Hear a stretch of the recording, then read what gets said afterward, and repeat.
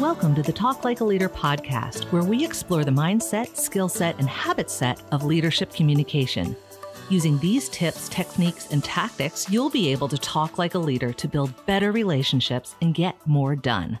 Your host is Guy Harris, who has more than 20 years of combined professional and military experience in consulting, coaching, and training in areas like team and interaction dynamics, communication strategies and tactics, as well as emotional intelligence. Take it away, Guy. Hi, this is Guy Harris. Welcome to Talk Like a Leader.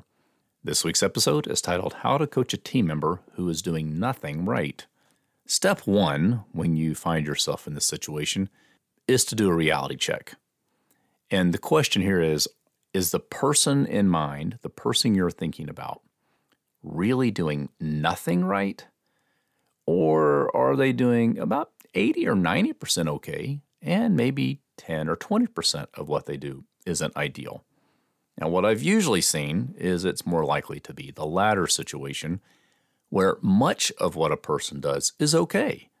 And there are a few annoying or less than ideal or frustrating behaviors they have. And because of just natural human negativity bias, we slip into judging all of their behavior by the one or two or minority of things that they do that frustrate us. And then, unfortunately, that starts to flavor or color our perception of everything they do when it's actually some things they do that aren't ideal. It's not really that they're doing nothing right, they're just not doing everything right. And we get frustrated by those deficiencies we see. Uh, I'll actually acknowledge that even in situations where a minority of behaviors are less than ideal, that you can have situations where the negative impact of the less than ideal actually outweighs the positive they bring. So the net of their performance is negative. It's just not that everything about their performance is negative. So the first thing we have to do is do a reality check. And if they're truly doing literally nothing right, or in the case where the negative they bring to the team, the damage, the the lack of effectiveness they bring, whatever, however you want to call it, that the negative or downside of their performance outweighs the positive, well, then we have to consider whether this person should stay on the team at all. And maybe coaching isn't really the right approach in the long run. Maybe what you need to do is consider starting whatever process you have for as I've heard it called, managing them out of the organization. Now, maybe you have a different phrase for it. Effectively, it means leading to a termination of employment scenario. I'm not highly in favor of pursuing that too quickly or too glibly. I think that's a pretty serious thing we want to carefully consider. Uh, I'm I acknowledge there are situations where sometimes we legitimately do have to terminate employment. I will suggest, though, that in most situations, even if it's a net negative situation, if you will engage in a positive way, you might actually find a way to turn it around. You might actually find a way to encourage the person in a way that creates a scenario where they fix their performance and start doing okay work. Now, maybe they're in a situation where what we're asking them to do just isn't really the thing they're good at. They're not a bad person, they're just a bad fit for the situation. And then that opens a whole host of other conversations, like possibly finding a way to restructure their assignment or put them in another role or those kinds of things before we go down the path that we just have to get rid of the person. Okay. General idea is that I'm prepared to confront the situation where the person needs to leave the organization. And I would prefer, I think most people would prefer, to find a way to keep the relationship with the person and put them in a scenario where they can win and the organization can win. So let's start with we're trying to turn this into a conversation that leads to keeping this person in the organization and finds a way for them to contribute in a way that is comfortable for them, benefits the organization, helps the team, and generally leads in a positive direction. Now, the way you do that is that we approach the situation from a, a, coaching and encouragement perspective rather, rather than correcting. This is a bit of a mindset shift in that we want to move away from correcting their behavior and into encouraging their behavior. The idea is that if we can get them to do more of what they do well or do what they're doing now in ways that are more comfortable for their skill set or their approach, help them find successful ways to do things and encourage them to do more of that, then by definition, they'll do less of the stuff, stuff that's annoying or less of the stuff that's not ideal. So, more of effective stuff equals less of not effective stuff. And we achieve the more of effective stuff by encouraging more of the effective stuff than by getting rid of the negative stuff. It's actually uh, a reality of human behavior that you don't really get rid of behaviors, you don't get rid of performance, you replace it with other behaviors or other ways of performing. And the more we can focus on helping people find better ways to do things, we don't really have to spend a lot of time talking about what's not done well. We can just focus on doing more of what is good. That's the mindset idea. Replacing the not ideal with better or more appropriate or more effective. It's also important to recognize another mindset idea is that when we're trying to help people improve, we're trying to help people get better. And on a broad stroke basis, remember that better is actually a modifier of good. It says that getting better does not imply that the current state is bad. It could be a good or okay, okay less than ideal state that we want to get better rather than a bad state that we want to fix. Really comes down to a mindset shift and keeping our perspective as a leader in the mindset of improvement over perfection, progress over perfection, improvement over perfect. Keeping that kind of mindset in, in top of our minds so that we convey that idea to the people on our teams. As we engage with people, you know, shifting gears from mindset perspective to what are some specific things I can do? Want to engage people in a coaching conversation and try to find ways to help them see the gap between where we are and where we'd like to be rather than to tell them the gap. I, I know that sometimes we'll run into situations where people just don't see what's wrong with what they're doing or what the outcome is. They just don't understand how it's not okay. And we might have to explicitly explain to people. There are situations where that's appropriate.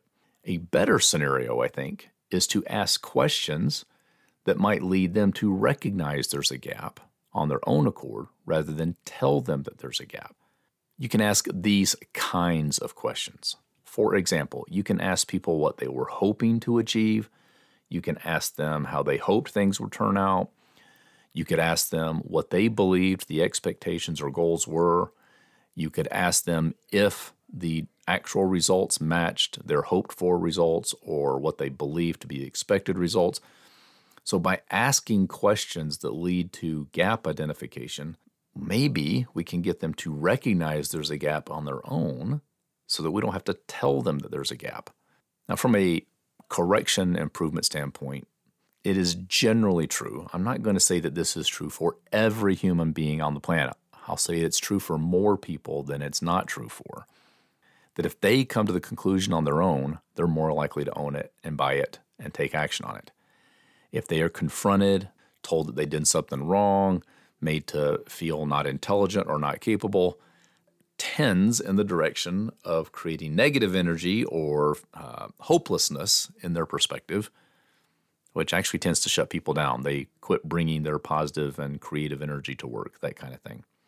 So, the better we get at helping them identify the gap so that they can see the gap and develop the plan for closing the gap, the closer we get to them bringing their energy and enthusiasm to work rather than engaging in work because, oh, I have to because my boss said to type of approach.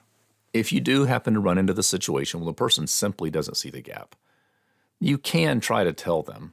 And one of the ways you can do that, again, we're trying to tell them gently as opposed to bluntly. Uh, we're trying to engage in honest and direct communication that falls short of brutally honest. Now, if I'm dealing with a person who wants brutally honest, well, then give it to them. It's just not most people. Here are some phrases that might help you get to honest and not brutally honest. You might say something like, Well, that's not exactly what I was expecting. Or, you know, actually, I was hoping that we would achieve this. Or actually, I was hoping it would look this way, something like that. The idea is to find a way to verbalize or state your expectation without directly saying that they were wrong. And as I said, already said, this is a generally good, although not always best approach because, you know, some people do want you to be brutally honest. As I said already, just not most people. Once you've identified the gap and both of you understand it, you understand it, they understand it, and you have the same picture of it in mind, then you're in a position to use positive feed forward. Positive feed forward rather than negative feedback. And actually, I would recommend using feed forward in a question asking way rather than a statement way. For example, is there a way we could do that better in the future? Or is there a way we could do that differently next time so that we can get closer to our desired result? Is there some other way we could do that that might give us better results? So, asking questions that point in the direction of problem solving on their part rather than direction on your part. You're pointing towards the expectation and asking them how things could be done differently so that you engage in a collaborative problem solving session where you are in effect from from a solving the problem standpoint you are peers not boss and subordinate you as the supervisor clearly need to define what needs to be done if they don't understand in a perfect world i would hope that they would actually understand what needs to be done without a lot of direction it's just not what we usually see we're probably going to need to set some expectations or set some goals or define for people what needs to be done. And then we need to work with them to figure out how to do it. That's the goal of Positive Feed Forward. How do we get to our desired result rather than directing people on what they're supposed to do?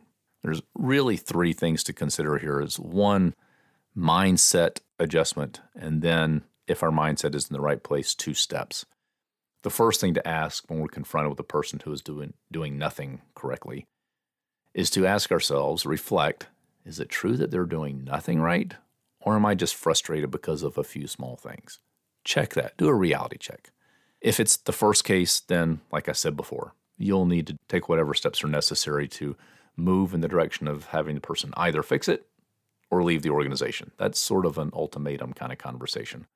And even in that case, I would say start with the softer approach that I'm recommending for what is the more likely scenario.